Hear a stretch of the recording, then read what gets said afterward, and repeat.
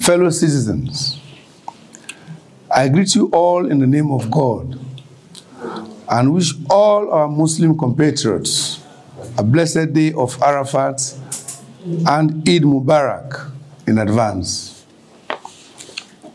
I would like to start by reaffirming the APC's total rejection of the skewed, manipulated, and unverified 60% partial elections results as announced by Mr. Mohamed Konneh, Chief Electoral Commissioner. My fellow citizens, over the last five days, the Electoral Commission for Sierra Leone, ECSL, under the leadership of Mr. Mohamed Konneh, has demonstrated a total lack of transparency and accountability in the critical stages of our electoral process.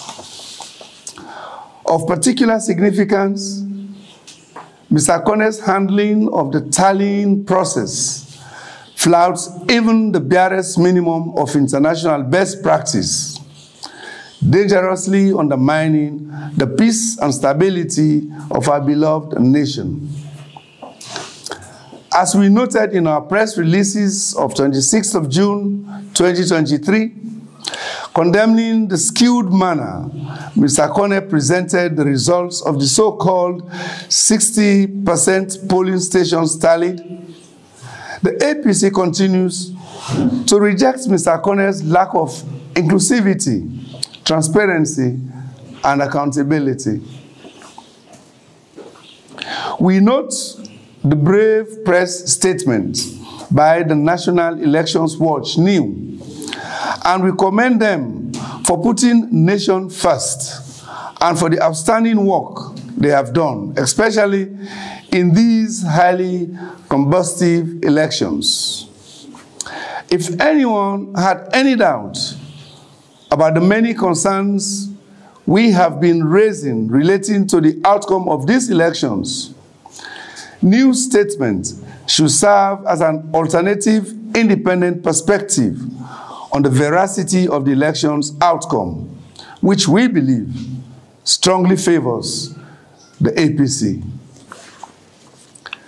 Fellow Sierra Leoneans have endured untold suffering and injustice under this uncaring government.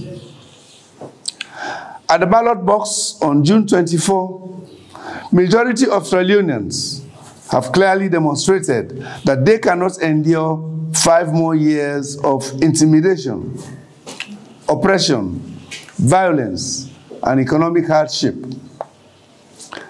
The APC stands solidly behind your vote for better lives, peace, and a united Sierra Leone. The APC leadership will stand by your strengths as you pressure for your voice to be heard and your votes to be counted in a transparent manner. In this regard, the APC counts on both local and international observers and the diplomatic missions to also stand by the majority voice. The current situation we are faced with in Sierra Leone is not just about the All People's Congress Party. It is not even about Sierra Leone per se. It is about democracy. Threats to democracy anywhere constitutes a threat to democracy everywhere. We thank you, our local and international partners, for the hard work you have put into this. But as you have witnessed, the core principles of civil and political liberties, particularly the right to choose political leaders, is being scuttled in Sierra Leone. This should not happen under your watch. The defense of democracy should go beyond the current endeavors in order to salvage this brazen attempt to topple democracy. I express my profound condolences to the families of all our compatriots whose lives have been taken and those who have been maimed in standing up in defense of democracy. You did not deserve this. I thank you all. Long live democracy.